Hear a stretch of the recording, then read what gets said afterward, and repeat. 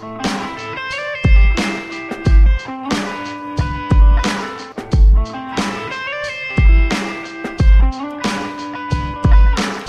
Не думать бы ему о сложностях, не размышлять про то, что ведь кому-то хуже, не ощущать, что мало воздуха и воротник за ужин, но вся свобода только в снах, а бодрствование привычный груз, душе же демоны скребут, до самого недовольства вытекает сквозь мысли шлюз, и света в темный день конкретно не хватает, от сплина не слова, а тишина спасает, лишь тишина вновь сбалансирует негерметичный более отсек души, стремится наш герой к молчанию, к тиши.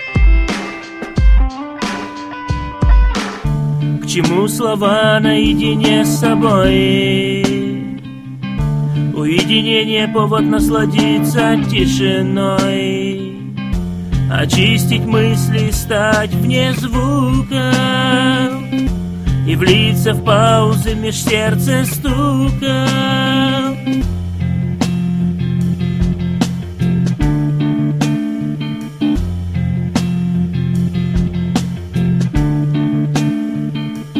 Вокруг все говорят, словесами окутывая разум Как будто радиоспектакль без конца. Спектакль словоспазмов и был бы толк Но толк отнюдь не ежедневен. Слова убийцы тел, процесс убийств системен. Так человек с годами только понимает Всю звонкую созвучность тишины. Как только сам начнет он меньше говорить То вмиг познает себя в молчании Себя в огромном обобщенном «мы» Вот потому однажды он уйдет, уйдет искать места, где тишина живет. Вот потому однажды он уйдет, уйдет искать места, где тишина живет.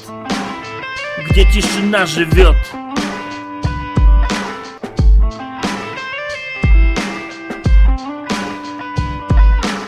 К чему слова наедине с собой? Уединение повод насладиться тишиной Очистить мысли, стать вне звука. И влиться в паузы меж сердца стука. К чему слова наедине с собой?